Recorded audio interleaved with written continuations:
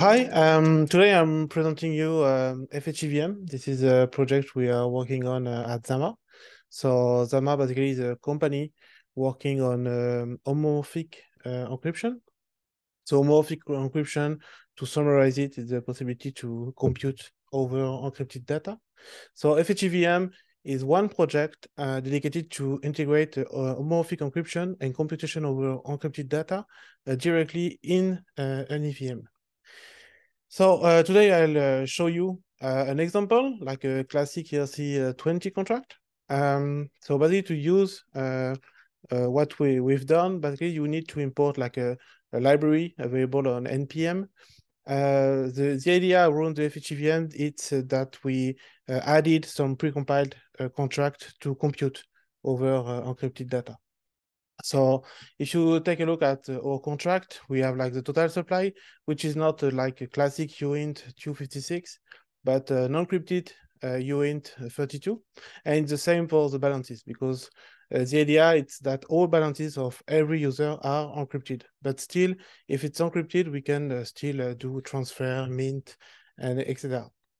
So this is like a classic ERC20, like the few differences we'll see is basically like the the way we mint, for example. So if you mint uh, an amount of token, the user will send an encrypted amount. So this is an amount encrypted with a FHE key. We need to validate uh, this amount. So to validate this amount, we'll check the zero knowledge proof that it's a valid ciphertext.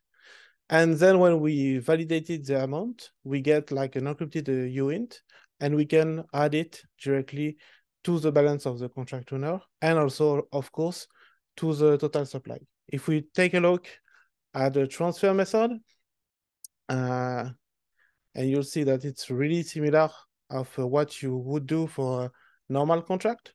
So if you want to transfer uh, some token, uh, you will you will send an encrypted amount uh, to someone so first you need to check that the user has enough token to transfer.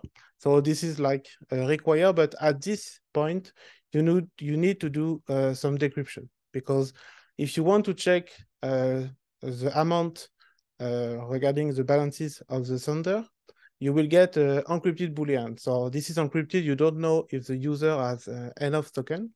So you need to do a decryption. So at this point, we will do one decryption. So if we decrypt something, we are leaking some information, but the only information we are leaking is uh, this user has uh, this encrypted amount on this encrypted balance. So basically, we don't link much information, but in other case, it would be a, it may it could be a problem. So this is the require, and then you see the balance is like what you you've done uh, like what you would done with um, a classic transfer. So you're just adding and um, removing amount from the, the balances. um, the we, we can do that because we are using the Solidity uh, 0819, which uh, allow uh, operator overloading. Uh, behind the scene, uh, this sign is uh, interpreted with a precompiled function doing homomorphic computation. So uh, this is like it's it looks like classic computation, but uh, it's really like a homomorphic encryption uh, behind the scene.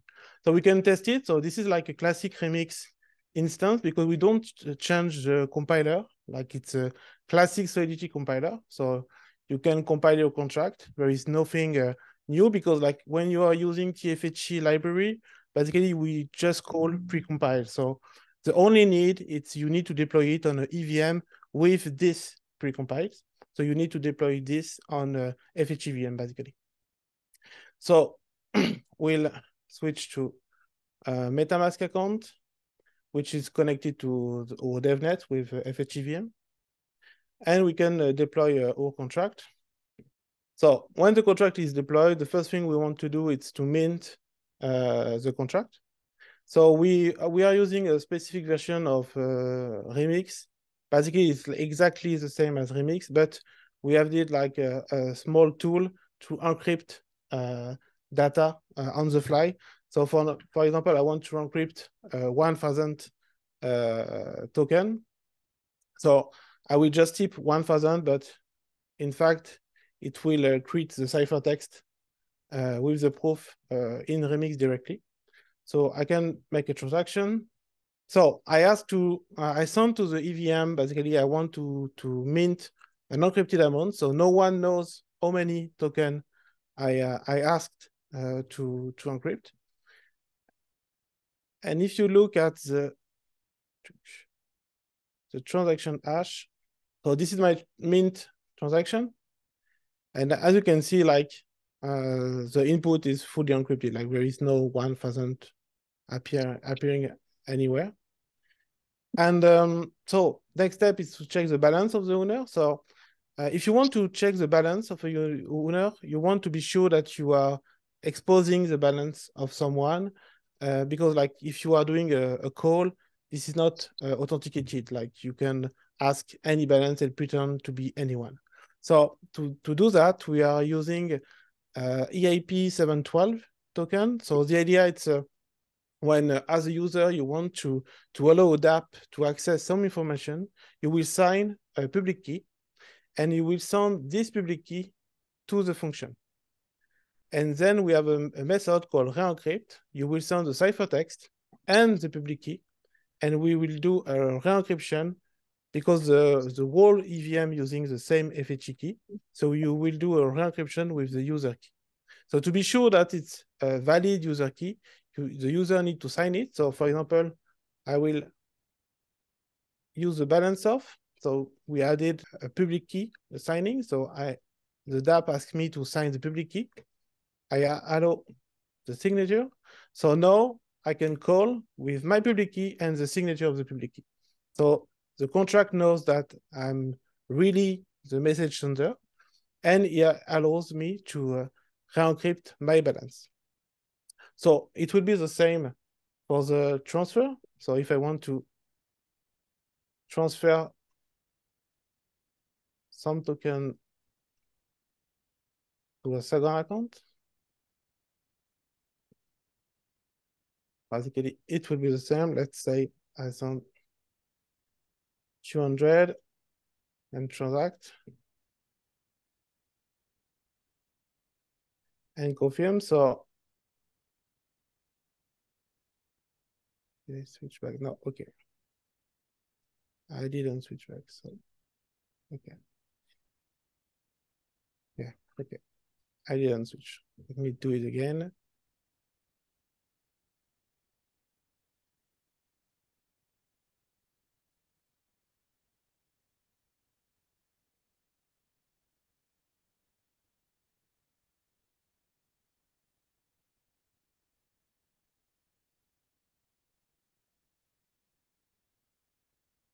Okay, I need to remix to, okay. And now I have 800 token on the Alice account because I transferred 200. So that's all. I think it's, uh, if you want to try uh, try this, this is already available in uh, DevNet. We just uh, announced our alpha version of FHEVM. Uh, this is available on uh, on Zama, Zama FHEVM. You have a, can click quickly the, the link it's uh, you have all documentation there.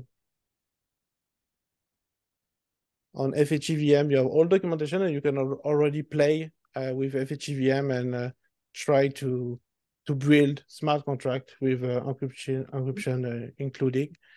And uh, that's all.